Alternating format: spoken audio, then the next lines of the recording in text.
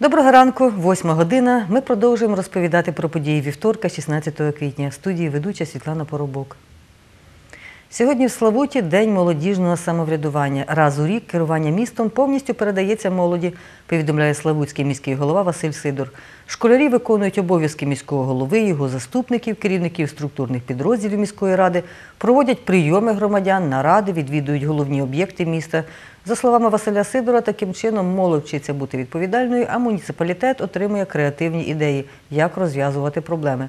Молодіжна дорадча рада та День молодіжного самоврядування започатковані 10 років тому. З її ініціативи, каже Василь Сидор, у Славуті започаткували благодійні акції, загальноміські бали, реалізували заходи з благоустрою, висадили висадки клумб та алей. Наша кореспондентка сьогодні працюватиме в Славуті, тож про День молодіжного самоврядування ми дізнаємося подробиці в вечірніх випусках новин о 19 та о 20.30.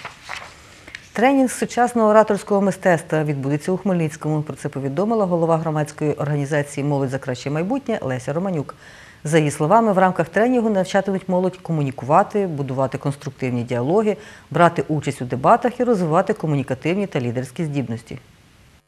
Безпосередньо під час самого тренінгу, який відбудеться 24 квітня о 18.00 в обласному літературному музеї, ми будемо проводити дуже багато практичних вправ, е, під час яких е, наші учасники будуть навчатися е, комунікувати, е, керувати своїм голосом, вивчати, як- якими мають бути правильні жести, міміка, артикуляція, е, якісь основи самопрезентації, тобто все для того, щоб розвинути саме свої комунікативні навички.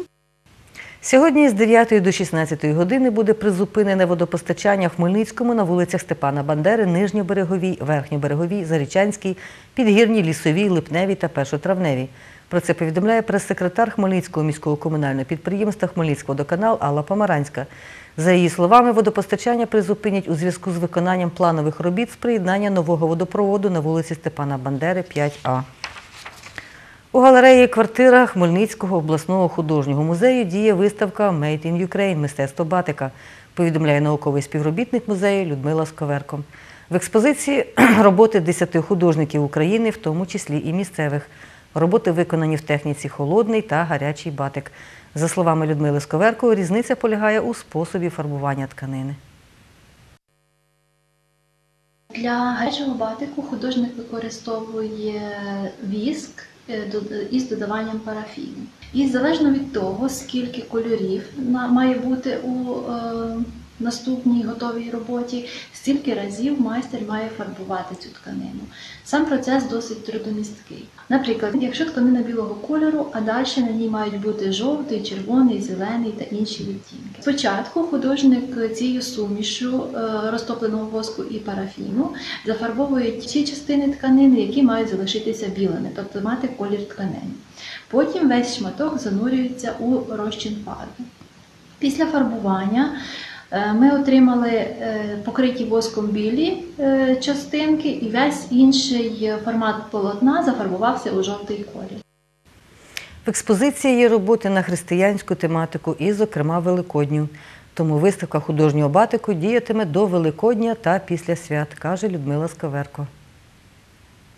Взагалі, сам е, процес розпису тканини тісно пов'язаний е, або близький до розпису е, писанки, е, традиційної української писанки. І саме на е, виставці присвячені е, роботи е, писанкам, так вони і називаються. Це роботи Вікторії е, Дубовик, і е, ще також е, кілька, і загалом виставка буде працювати до свят і ще е, після свят можна відвідати і насолодитися цими прекрасними роботами. За словами наукового співробітника, виставка триватиме до 12 травня. Цього тижня розпочнуться роботи з облаштування скверу на перехресті вулиць Степана Бандери та Зарічанської в обласному центрі. Про це каже начальник міського управління житлово-комунального господарства Василь Новачок. За його словами, підготовчі роботи розпочалися минулого року. Наразі е, написали листа на аванс. Е, я думаю, десь на протязі тижня вони отримують аванс і вже відповідно приїдуть е, спеціалісти, які будуть його продовжувати ті роботи.